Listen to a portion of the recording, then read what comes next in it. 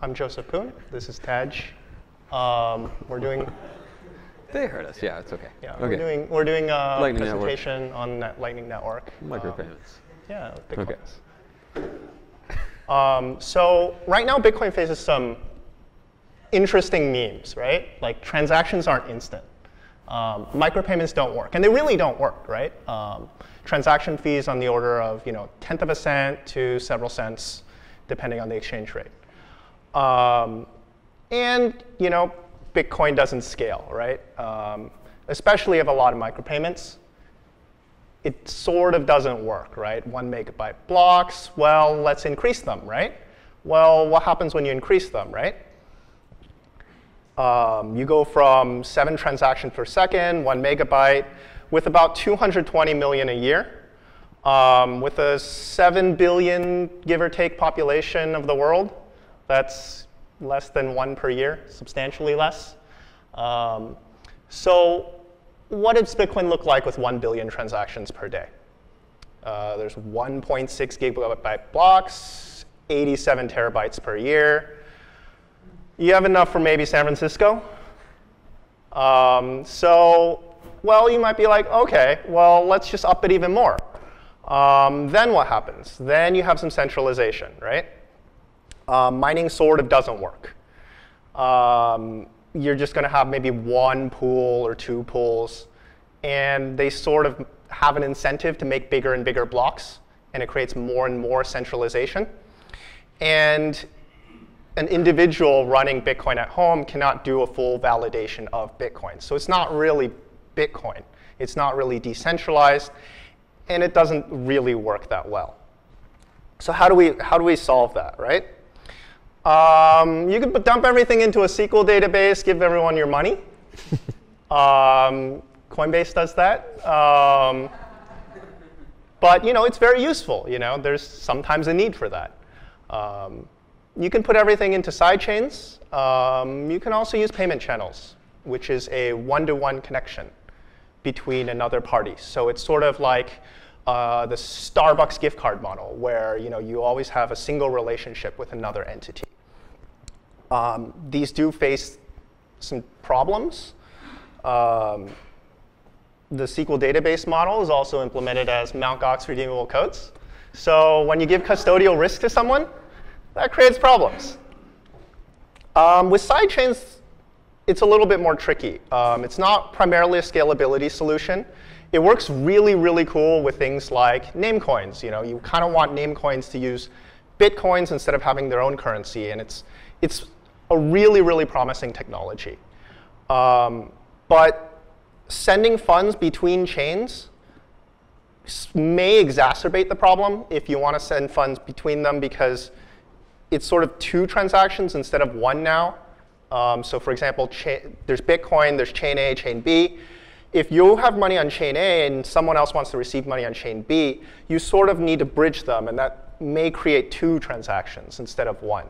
Um, and with payment channels, you know, if you have some recurring billing, that works. But what if you want to spend someone else? Then you have to make a Bitcoin transaction. Um, what you really want are anyone-to-anyone payments.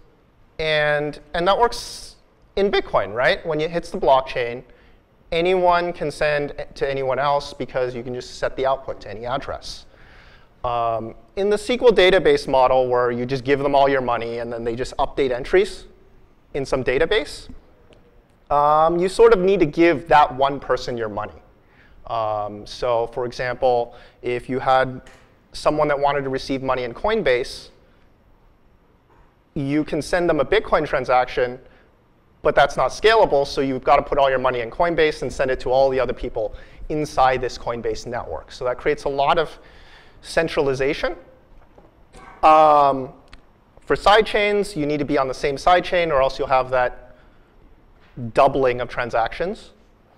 Um, inside a payment channel, um, you just need the same relationship. So what we propose is having a payment channel between many parties in a multi-hop hub and spoke, which is conceptually similar to internet routing. And this uses minimally trusted intermediaries in that they cannot take your coins. It does not involve a third-party custodian. um, but it does require a small malleability soft fork.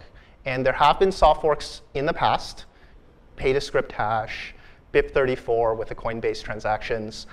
Um, and you know, we kind of need to fix malleability anyway. Um, if we fix malleability, we can do this. Um, Tadge will go into payment channels. Okay, so I'll introduce the, the sort of basic payment channels, and we'll build off of that. Um, so we actually were sort of looking like who came up with the idea of payment channels. It's it's not a new idea. I can find stuff from like Mike Hearn and some other people like 2012, but I don't know exactly who came up with it in the beginning. Um, we may never know, but it's you know it's an old idea. Well, old for Bitcoin. Um, it uses multi-sig, and it allows two people or two entities to send transactions to each other rapidly without hitting the blockchain every time. Okay, so I'm going to go through the basics of how to create a, you know, this is a two-party payment channel that's unidirectional. So Alice can only send money to Bob through this. So what she does is she sends, she, well, she doesn't send yet. First, she gets a refund before actually committing. There's a multi-sig address with Alice and Bob who both have control over this address. And Alice wants to send one Bitcoin to it. Before she does so, she gets Bob's refund signature. So that at worst, Alice loses her, her coin for 30 days. So Bob essentially creates this 30-day nLockTime refund signature, signs it, sends it to Alice. Alice can either sign it herself and keep it that way, or just wait where, where it's half signed and sign it later. Um, but Alice keeps this, this red dotted line on her hard drive because she knows, like, okay, at the end of the month, I can get my money back. Worst thing that happens. Uh, and then once she has this, she knows it's safe. She sends the Bitcoin from her just single user address to the Alice and Bob multi-sig address. Okay. Then, once it's in this multi-sig address, she can commit to payments to Bob. With no lock time, Alice alone signs and hands this transaction to Bob, out of band. So Alice says, okay, there's one Bitcoin in here. I'm going to give 0.9 of it to me and 0.1 of it to you, Bob. And here's the transaction. I'll sign it and send it to you. It's not a valid transaction, right? Because Bob has not yet signed it. Uh, so Alice cannot push this to the blockchain. All the miners, every node would ignore it and disconnect. Uh, but she can give it to Bob out of band, some other network, and say, here, Bob. And Bob can treat this as a payment, right? Because this is worth 0.1 bitcoins. Bob can now sign this at any time, right? Signed by Alice, signed by Bob, and broadcast to the network. And in so doing, close out the channel. But Bob does not sign and close out the channel. Bob waits because he knows this, is, this channel is going to be open for the rest of the month. So Bob waits, and then Alice pays him again. Alice says, OK, I'll give 0.8 to me, 0.2 to you, and I'll sign it, hand this transaction and signature to Bob. And Bob essentially overwrites this old one because this is purely better for Bob than the uh, bottom one, right? This is better. You know, Bob gets 0.2. That's better than 0.1. He can keep it on his hard drive if he wants, but he's never going to broadcast it. He's not going to sign it. This is better. Um, and he can keep doing that, right? So, and then at some point, Bob says, okay, the channel's over. Either Alice can request the channel to be closed out, um, and Bob can cooperate, or if Bob's a jerk, he can wait until the end of the month and then you know, keep Alice's funds locked up for the whole month and then sign. If Bob waits too long, Alice gets all, all her money back. Uh, so Bob is pretty, you know, motivated to sign this at some point in the next month. When Bob signs it, okay, it's signed by both parties. There's no nLockTime. It goes to the network. And all the network sees is one Bitcoin from Alice to multisig, and from that multisig to these two addresses. So during that month period, Alice can send as many small microtransactions to Bob as she wants. Okay, that's the unidirectional channel. Is everyone mostly on, okay, on board with that? So you can actually change the direction of channels after you've created them. Uh, the startup is the exact same. You get a refund from Bob to Alice, signed by Bob. Alice Holt keeps that. Alice pushes the one Bitcoin into the multi-sig address. But now when Alice spends to Bob, she does so with a 29-day lock time. So if this refund is valid on the 30th, this spend to Bob is valid on the 29th. And she can start incrementing it the same way, keeping the same lock time.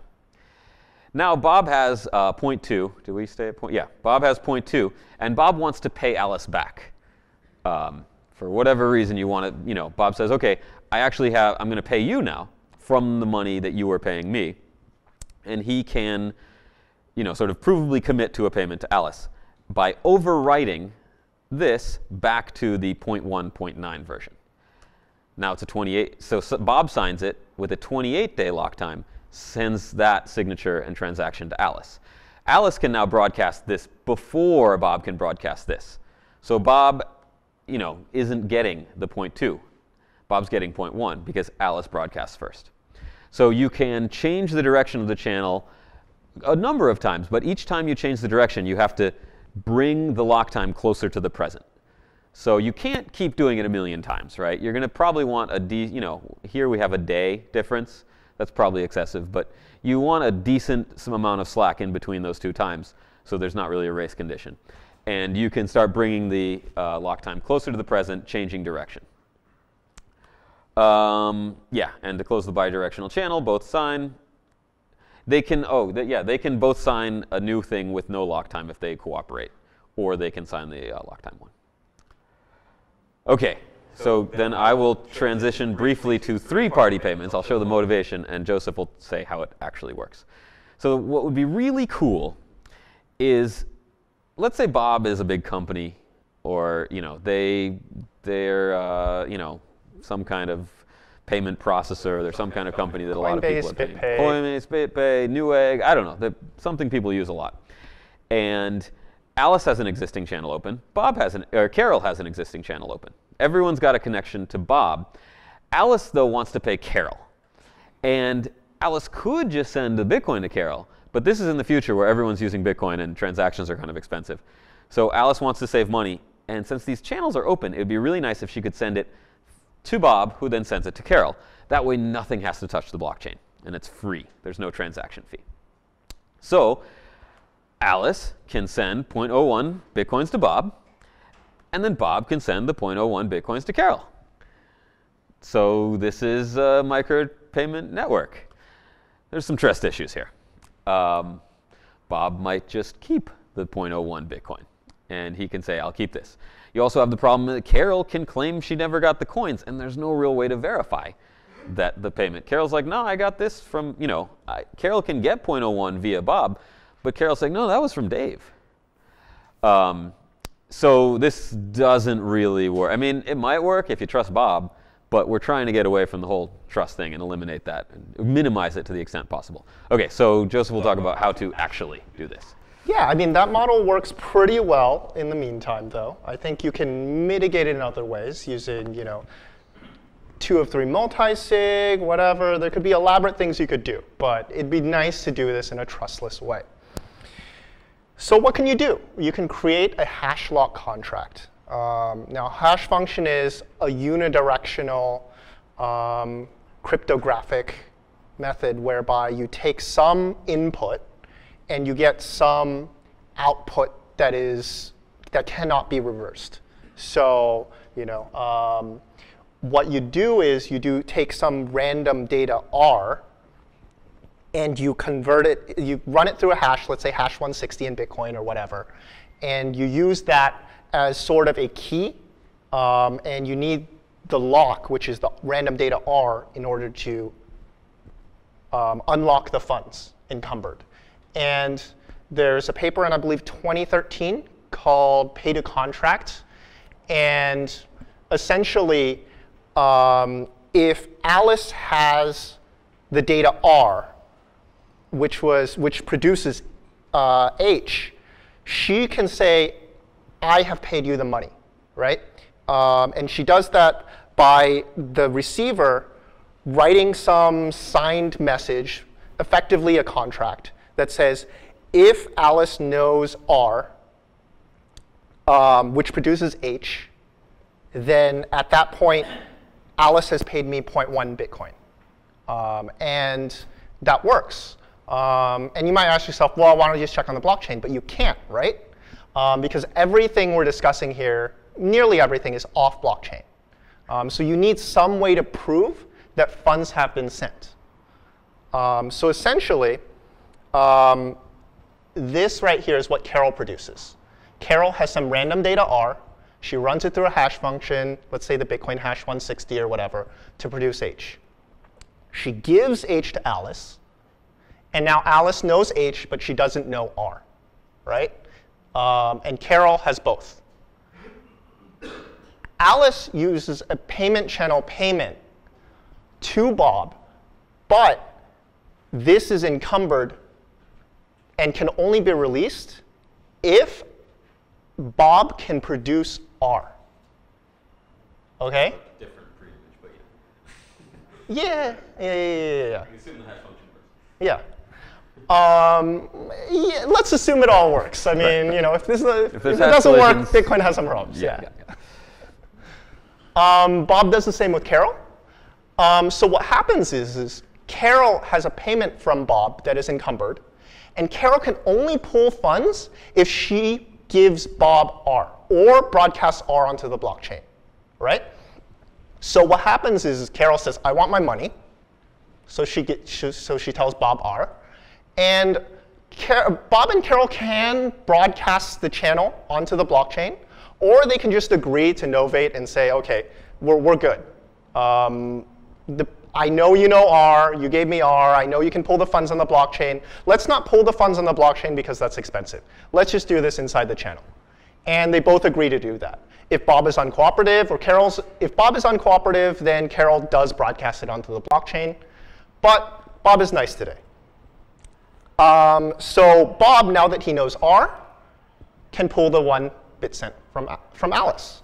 So Bob, acting as the intermediary right there, is not really in substantial risk if you look at it this way, right? He can always pull funds from Alice and give it to Carol, right? Possibly. Problem. If Carol refuses to disclose R, she can hold up that funds in the channel, right? Even worse is if Alice's connection with Bob expires before Bob and Carol's, then Bob sort of has already paid Carol, and Alice's and Bob's channel is closed. It's hit the blockchain, right? So Bob can be out of money. That's a problem. The other problem is that Bob sort of has to be really rich, right? and this is sort of unintuitive, but think about it this way. If Alice and Bob have a channel, and Alice committed one Bitcoin, so the ledger is Alice has one Bitcoin, the channel is one Bitcoin, Bob is zero Bitcoin, then, okay, that means that Alice can only send funds. Alice can't receive any more funds because she's sort of full. If everyone gives money to Bob, everyone has full funds. You kind of want Bob to send money out, create channels outside, right, to other people. So for example, if to Bob sends funds to Alice, then that has a channel that can be spent. So then the system sort of works. The availability of funds that Bob has has some implications for fees, but we won't really get into that. Um, it's just Bob just needs to be really rich on a single hub and spoke model. Um, so let's say Bob is rich. Um, how do you mitigate this problem? You, you can do things like third-party multi-sig where Alice and Bob, this payout is also has some third-party escrow service or something like that. That can work today, and I think it could work fairly well today. Um, you could also trust that Bob will be honest and send the money um, and not encumber everything. Um, that works too. Um, but what we really need is to build a trustless model, right? Um, corruptible custodians are undesirable. You kind of want Bob unable to steal funds. Um, but right now with Bitcoin, complex chain transactions, chain transactions don't really work. Um, with malleability, you can create these hostage scenarios. So if funds are locked into a two of two multi-sig and the transaction gets mutated, the refund transaction is not spendable. And with 202 multi-sig, one of the parties can just resign, right? You can't really protect against that that well, especially if the transactions are chained, right? Like two or three deep. Like a transaction is spending to another transaction to another transaction. So in order to do that, we need to fix malleability, and Tad Yeah. will go into that. Uh, I had a talk about this a month and a half ago or so, and this is a you know another use case where you basically need some kind of sig hash modification. You could do a totally different signature with a different opcode, or you can just have the sig hash flags, and you could have a sig hash you know normalized, which uses the normalized TXID, which is just the same calculation as TXID, which with the uh, signatures stripped out from the inputs, or a sig hash no TXID input, where you remove your uh, input TXIDs completely and essentially have malleability on your input side as well as your output side, which is slightly more risky if you are spending to the same address multiple times, but you shouldn't be doing that anyway. Um, so both of these are the no TXID, the no input is a, uh, is a lot more flexible in what it can do, but you sig hash with a normalized TXID also lets a lot of these contracts work. So hopefully we can get both of these sig hash types or something equivalent in functionality into Bitcoin pretty soon. I don't think there's a ton of controversy because, I mean, you have stuff like sig hash none, uh, so why not have these, right? It, it, it's much safer. Um, and then, yeah, I guess there's a link to the paper I talked about a few weeks ago. uh, yeah, okay. Okay. So in order to enforce Bob being able to send to Carol and Bob knowing he can receive funds from Alice, you kind of want to build this contract, right? And what would be the terms of this contract? Um, I think, for example, a contract can look like if Bob can produce to Alice some input R, and R being some random data that Carol generates, um, or Bob generates rather. Um, with input R from hash H within three days, Alice will pay Bob 0.01 Bitcoin. Um, however, after three days, the above clause is invalid, meaning within these three days, if you can produce this hash, you will get 0.01 Bitcoin. But after three days, the funds locked inside this output will be refunded. And either party may agree to settle the terms using other methods. Um, so for example, instead of bro- broadcasting on the blockchain, they can agree to settle it out inside the channel. Um, and violating the terms will incur a maximum penalty. So for example, if Bob tries to do something sneaky after three days, um, you kind of want Bob to make sure you won't do something like that. So you create a contract um, inside Bitcoin scripting itself using multiple transaction outputs. So there's a single output of 0.01 Bitcoin um, between Alice and Bob. And the payment, which is this, oh, this is sort of point number one. So the payment has no lock time, but requires R. So if this output committed between Alice and Bob, and Bob produces R, he can broadcast on the blockchain a transaction that spends from this output. And Bob would have to broadcast both the output and the spend. However, after three days, Alice has an unencumbered transaction which does not require R, which is a refund of what Alice committed, this 0.01. So what happens is Alice funds the 0.01. Um, Bob doesn't broadcast anything. Alice can broadcast a transaction that gets some money back. Um, if Bob produces something within three days, he can get 0.01 Bitcoin. And this is sort of what the script looks like for the output. Um, spending that is pretty simple. You know, you provide the data, either or. Um, the first one has three items. The second one has two items. Um, so what happens is, is when three days occurs and Bob doesn't produce anything, Alice has the option of going to Bob and say, hey, you didn't produce anything. Let's update the channel to remove this output entirely. And Bob can agree, and that'd be good. If Bob doesn't agree, Alice broadcasts the output and the refund onto the blockchain, right? So what can you really do? Let's say Alice wants to send funds to Dave via Bob and Carol. And Alice discovers Dave through something like you know, BGP or CJDNS or whatever. Um, but she knows that there is some network that Bob and Carol is in. So maybe there's like hundreds of Bob and Carols, right? You got Visa, MasterCard, Amex, Yeah. Union Pay. yeah. there's there's a fair amount, right? Maybe more than today with card processors, but you know, um, there is some route, right? Um, and the blue lines are individual channels between the participants. Um, this will start looking like what it did before. Dave generates an R. She gives H to Alice.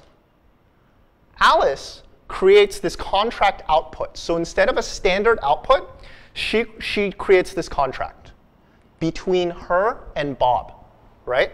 It's a hashed, time-locked contract with a three-day lock time. So the funds are locked up for three days, and if Bob can produce R within these three days, then you know, he can pull one bit cent from Alice. But if he can't, Alice sort of gets her money back. Bob does the same with Carol, except this time it's two days. And Carol does the same with Dave, except this time it's one day. Right? And at this point, Dave can pull money from Carol because Dave knows R and it's encumbered with knowing R. So Dave pulls R. Dave pulls the money um, using R. And Dave could broadcast it on the blockchain and Carol could broadcast it on blockchain, but they agreed to just remove the contract from the channel and just send the funds atomically, right? Bob does the same with Carol. Alice does the same with Bob. And at this point, Alice has sent funds to Dave, and no transaction has hit the blockchain, right? None, nothing. What happens if Bob just decides not to cooperate with Carol on day two, right? So it's right here. And instead of doing this, Bob just says, I'm not going to talk to you, Carol, and just ignores them, right? Carol, knowing R, broadcasts the entire transaction chain onto the Bitcoin blockchain, right?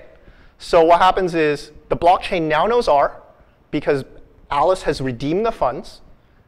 Um, and at this point, Bob has sent money to Carol on the blockchain. And Unwillingly, yeah. Unwillingly, yeah. There's no cooperation. Carol can unilaterally take the money. and reveals are so Bob can now get his money, even Yeah, though he sort of doesn't deserve it. Yeah. Bob doesn't deserve his money. He looks on the blockchain and goes, hey, I see this R. I'm going to take my money.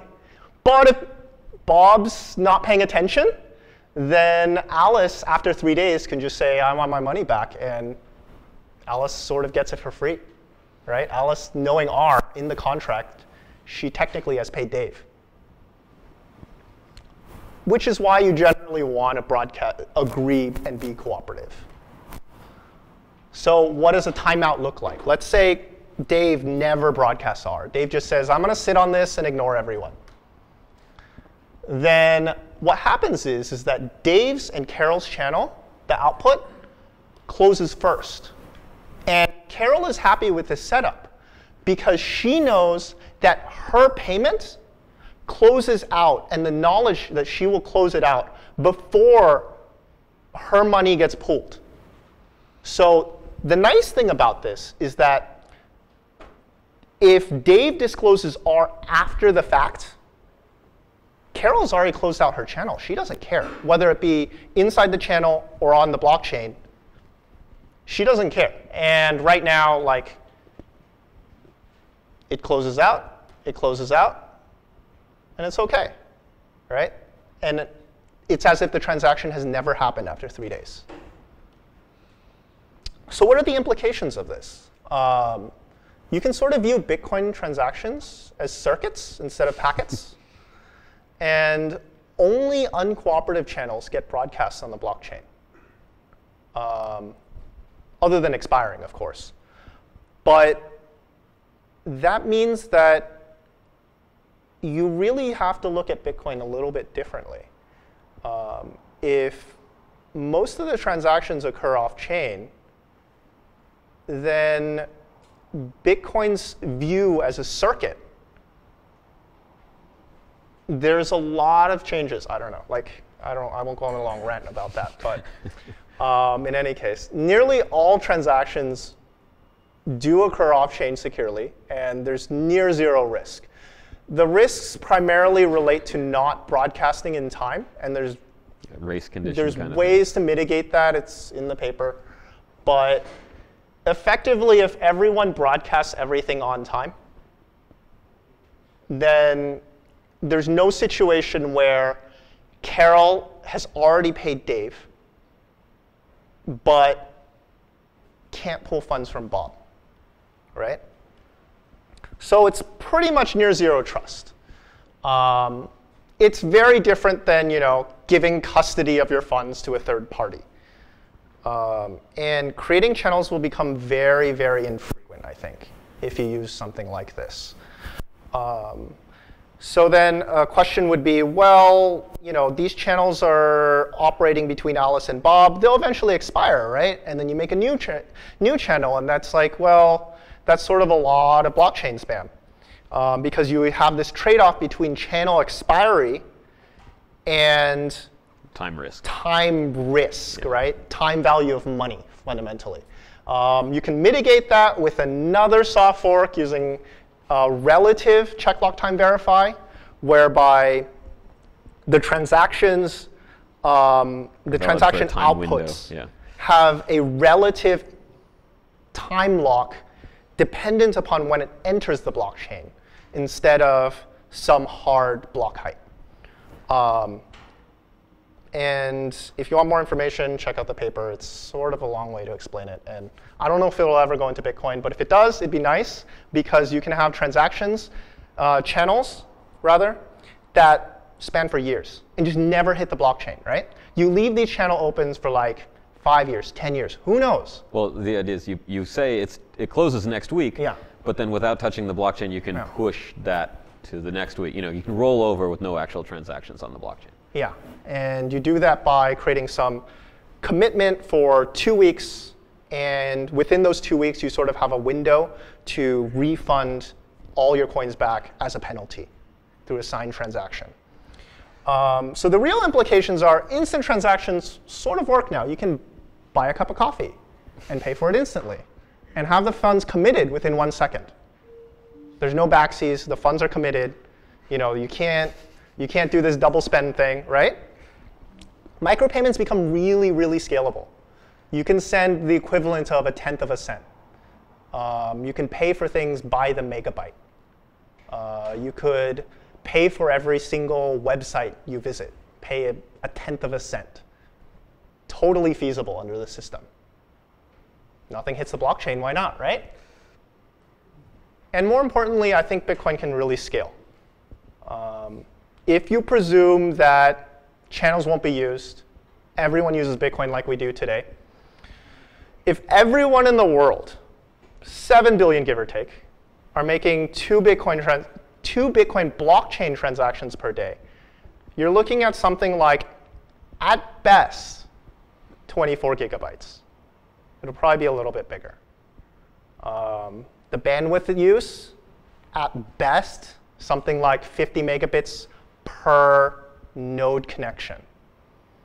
Um, if you have channels instead and have this channel network, and you presume everyone sort of has two channels for themselves, except for the core nodes, and anyone can be a core node, um, then those people can make a lot of transactions. They can make nearly infinite transactions inside 133 megabyte blocks, sort of in an optimal view. I think two channels per year, especially if you have um, a relative check lock time verify, is somewhat generous. Most people only have one or two bank accounts. Um, and it's not a bank account because you know you don't have custodial risk, but I think two channels per year is a good number to use.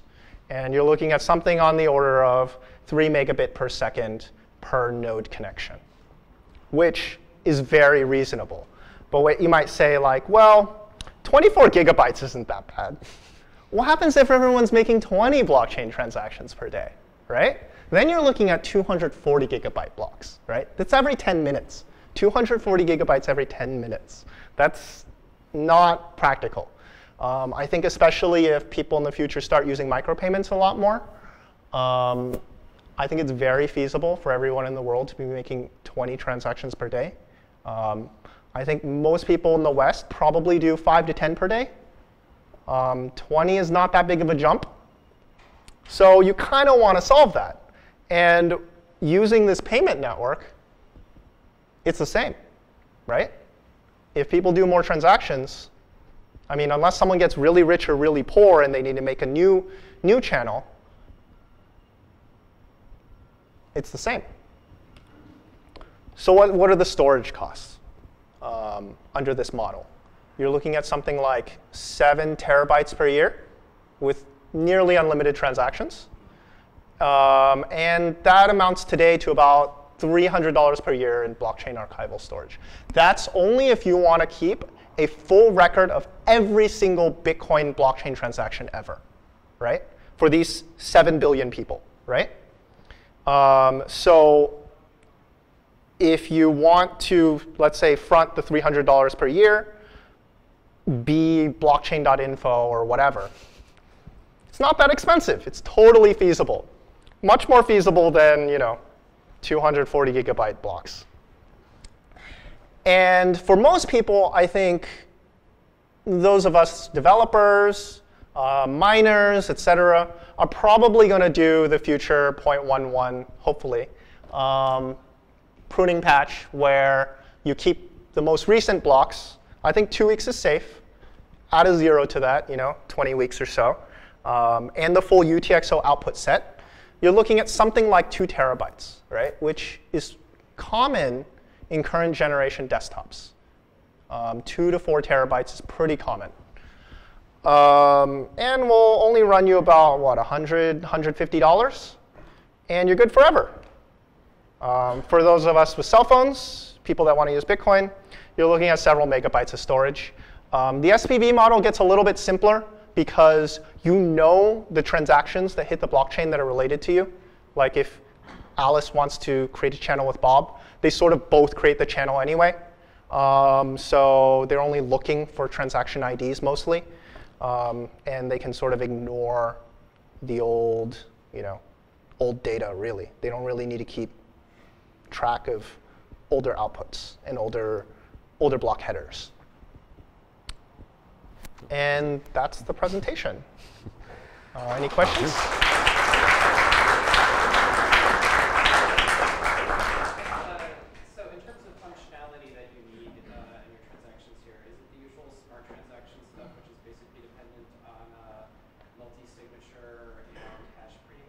Yes. And uh, on transactions, time lock verify? Yeah. So, so talking about this relative time lock verify, is that on UTXOs or transactions or both? Like, what is that? Okay, so that's a two-part question. yes. That's a two-part question. Is are you using multi-sig plus hash encumbered? And yes, that's this is the hash encumbered part for this output. Um, so when it is spent, it has a multi-sig signature between Alice and Bob. Ooh. Um, so it's presumed that this output is pre-signed by both parties, except for knowing R. So they know the output.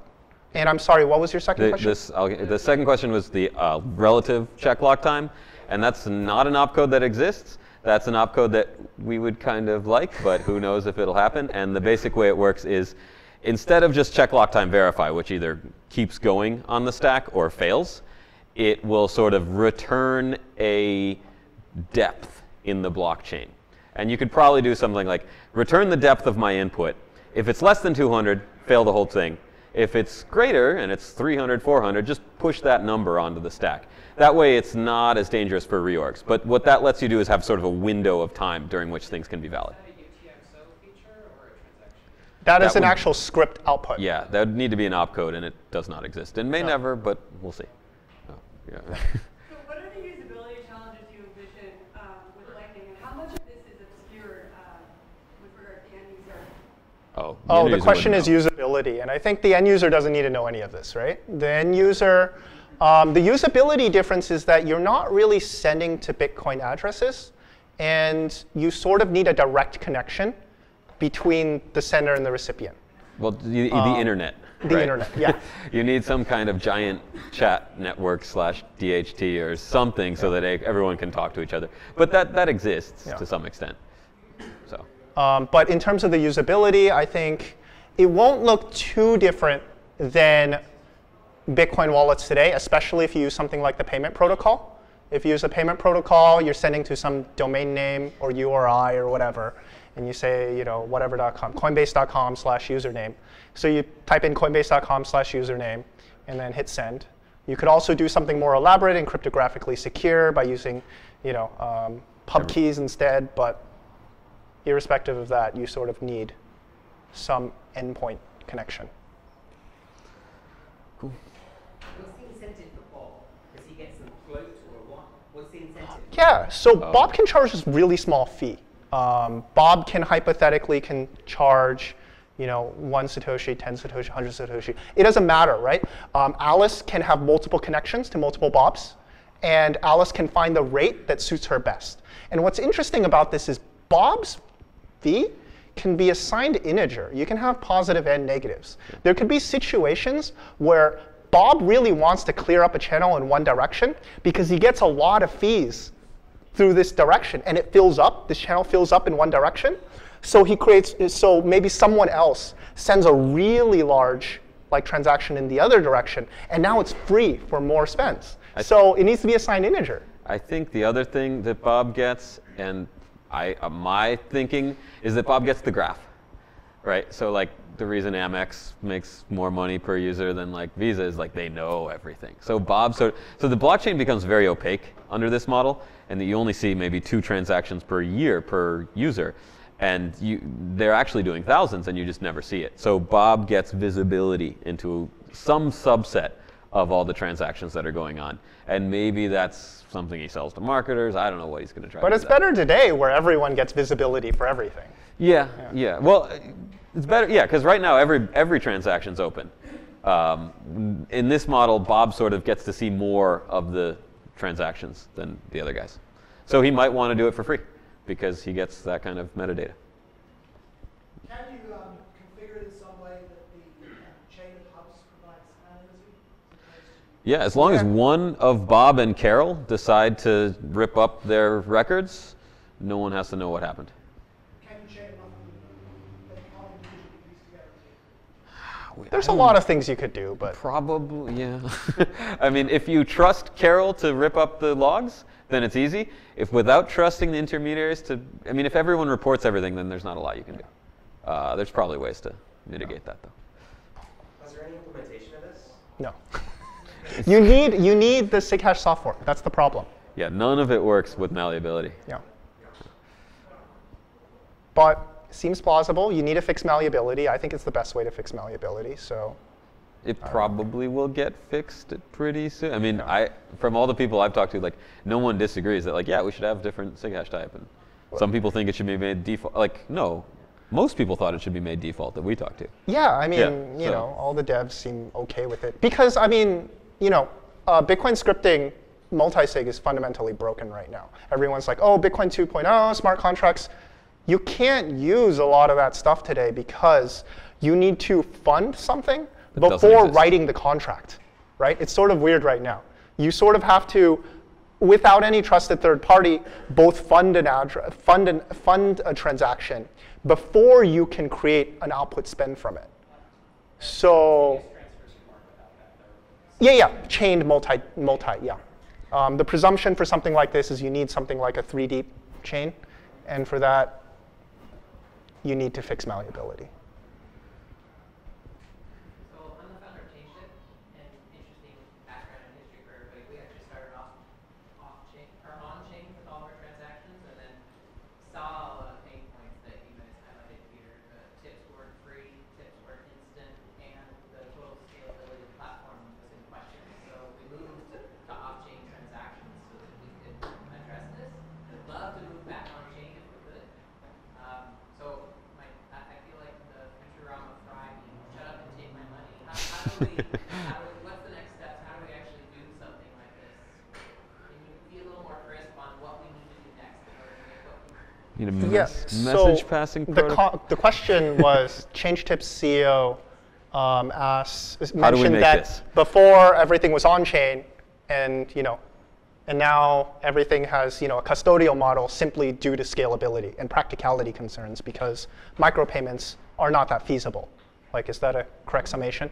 Um, and the question is, what are sort of the next steps in order to get something like this going. We need a message passing protocol. We need some kind of secure There's identity. talks. we need, you know, client software. I mean, there's a lot of stuff to do that Yeah. people are working on, and it's going to have to come together. Um, We need to have a standards body to make RFCs or something No. like that. Yeah. I don't- No, I mean, like the problem is, is we even if you wanted to implement this today, you need work. a soft fork in Bitcoin. I mean, you could build a trusted model, right? A trusted model with a single Bob, with a single rich Bob, kind of work if you have if you trust Bob. and you make little payments, and the worst Yeah. you can do is take that single value and Um, so that works So you can start. You can start today and have these workarounds and stuff, um, and then hope that there's a fix for the malleability to really scale out, uh, which is probably okay because right now, right now you don't really need this, right? I mean, You need it for micropayments. yeah, but even for, you know, Bitcoin, not a lot of people are using it. The fees is like what, two cents, maybe less. So it's not a critical need right now. We can probably scale, still scale up use of Bitcoin by a factor of quite a bit Yeah. before we start really needing the to push things off chain. Um, so so it's not like a disaster. We need we have some time to work on it, but yeah, we're we're working on it. We should. I've, I mean, I've talked to Richard and stuff, so I think he we're sort of on the same page in how to bit, you know go forward with this. But you know, it's sort of you. The devs need to be okay with it. The miners need to be okay with it because this is a soft fork, and the miners need to do it. But I, I think everyone's sort of okay with it. So just as a follow-up, sorry for interrupting. If we decided that we were going to do this in a trusted model today, Uh-huh. the technology support it? And Yeah, you Yeah. could do it. Do it in an untrusted way, you're saying it requires additional, a soft fork. Mm-hmm. Yeah, you Yeah, could you be can- you Bob, do this. and then Yeah. have micropayment channels from all your users, with like They just send Bob money, and Bob just sends someone else money. It's no, pretty but, straightforward. but you you put you can have channels to Bob, Yeah. and then you do these tiny little payments so that the trust is minimized, so that the most Bob can rip you off for is, you know, a little bit. Bob of. also doesn't only need to receive money. Bob also needs to have Yeah, some money Bob needs going to have out. a bunch of Bitcoin because otherwise he can't forward things to other users. That output today can be mutated with some minor changes in point 10. I think maybe that can be mitigated mostly. Um, but you know, Bob's outputs to Alice, let's say Bob encumbers his one Bitcoin to Alice. That part can be mutated and create some hostage scenario, but you know, maybe in a couple months that'll solve itself. Why can't Bob's payments to Carol, uh, payments from Alice to Carol, be very, very, very small, like much smaller? Yeah, you could do They that. can, That's yeah. how you can, you would get it working today. So the question is, um, why can't Alice's payments to Carol's be very small? And that's sort of how a trusted system would work. You don't want to trust Bob to a lot of money in transit. So you say, okay, I'll only send Bob 10 satoshis or something, and Bob will send Carol 10 satoshis. And since since it doesn't touch the blockchain, you can keep doing it. You send 10, oh, 10 got there. Okay, send another 10. And it's mainly like, you know, latency and sort of bandwidth patient. overhead. It'd be nicer if you didn't have any risk and so you could send arbitrary amounts through this channel. So, So Bob, doesn't, isn't Bob, so, because my, I guess my thinking is, you're saying Bob needs a lot of money, yeah. Bob needs a, lot of money even with tiny little bits going through because I guess the idea is let's say Alice puts a Bitcoin into this channel and Carol puts a Bitcoin into this channel. Now Alice wants to pay Carol. She can't because it's Carol's money in this channel. So Bob can't really credibly push it back to Carol. If everyone, if all the leaf nodes in the, or whatever, spoke nodes or whatever, you know, if all the people surrounding Bob have only have put their money into the channels, no one can pay each other. They can only pay Bob. So Bob needs to front, you know, a, a easy model would be, okay, Carol puts one Bitcoin into the channel and Bob also puts a Bitcoin in the channel. That way it can push either way. And so Bob needs to have quite a bit of capital uh, in order to make this system run smoothly. For something like ChangeTip, I think it's fine, you know, Yeah. because it's you know big anyway. micropayments. But for larger amounts, it will probably not work. It'll and the expensive. advantage of multi-hop is that Bob doesn't have to be rich, right? If there's Bob, Carol, and then Dave and whatever, if there's like hundreds in the middle, As long as it sort of averages out, you're. you're they don't have to be rich. Yeah. Uh, what's your average and worst case for how many hops there would be in a practical? Oh, so we disagree. Okay, so the question was how many hops? I think uh, two intermediaries, so the, the three hops. I think that like takes over the world, right? Because like, how many intermediary payment processes you need? I would say it's going to be a fully con- fully connected graph between all the Bobs and Carols. Even if you have a thousand of them, that's what a million different channels. That's not that many. Um, I think that's enough. But you want I want five? it if it's more disconnected. I kind of want if there's you know three in the middle, right? Um, but it's sort of not your choice. I think um, Bob and Carol do have money committed on online, right? This is all hot wallets for Bob and Carol. Um, Yeah, so there's a ri- one entity doesn't want to expose themselves too much, but if they're comfortable with it, yeah, go ahead. Yeah. And this is the security problems that like existing financial companies have now where I've got a bunch of valuable stuff, it's online, I don't want to get hacked, and I've got all my customers depending on me to stay online and stay operational. So those are going to be the real, you know, questions for Bob and Carol. But for Alice and Dave, they're offline most of the time. They can encumber everything in a multi-sig, which requires some, you know, other party to sign off on it. It can be a really, really. tr- It pushes a lot of the where- risk into the center. Yeah, which is good because they're making fees off of it, and you know, your fees are. It's interesting with commodity money, right? With commodity money, um, your fee, your your risk, your fees paid in in the form of your risk paid in the form of fees is effectively um, what the main focus is on, but with fiat, because it's debt based, it's primarily with counterparty risk. So your interest rate is primarily paid due to based on your counterparty risk. Whereas with commodity money, like with gold, you know, it's um, you're taking on the security risk. So um, the fees are based on security risk. So people that are more secure um, probably will charge lower fees. So, um, when taking into account the sort of latency inheritance system, do you um, make any estimates of the capital ratio of the, the individual hubs to the throughput? What it might be? Sorry, So the question was individ, like how much capital Bob and Carol have to have, and how that equate, how that relates to the throughput through the, the system. I haven't, we haven't really. They need I a mean, bunch it'll of money. solve itself, right? The you know, they yeah. just charge fees. Right now, the, the time value of Bitcoin is sort of zero. Yeah. So like, there's a lot of people who have like, oh, I've got you know 20,000 bitcoins I got from the U.S. Marshals, and what am I going to do with it? Um, so you can put it up here and, and a- extend things. Okay, This is one- a Bitcoin lease rate with no counterparty risk, right? Last question. Okay, so last question. Gotta go. Do you think that this could harm the security of the blockchain if enough people were doing these off-blockchain transactions that miners backed down because there weren't enough fees in the future when the reward is lower? I don't think so at all. I think, I think, I think if he, the blockchain on blockchain is so much easier that the first thing you do is you fill up the blocks, and you move to this kind of thing when the fees become prohibitive for small transactions. So if the if the blocks are empty and there's you know miners are going hungry, why bother with all this complicated stuff? Just send people bitcoins directly. So I don't think it's a big risk. yeah, I mean, there's interesting ways to do, you know, increasing the block size and Yeah, if like miners that. really get mad and they get together, they prevent some of this stuff from I think, happening. well, I think I think miners are okay, right? They're going to get fees no matter what. I think they're going to restrict the block size such that they maximize their fees, um, and you want to do that in a constructive way. And I don't see why miners would be against it. I think the blockchain transaction fees will probably go up substantially, though, right? If you're dumping data onto the blockchain because you think Bitcoin transactions are going to stay cheap, I don't think it will. I think it can go up like dollar plus, ten dollars, who knows, per Bitcoin transaction. But that's fine because you just leave these channels open for years on end. Okay. All right. Got it? Okay. Thanks. Thank you.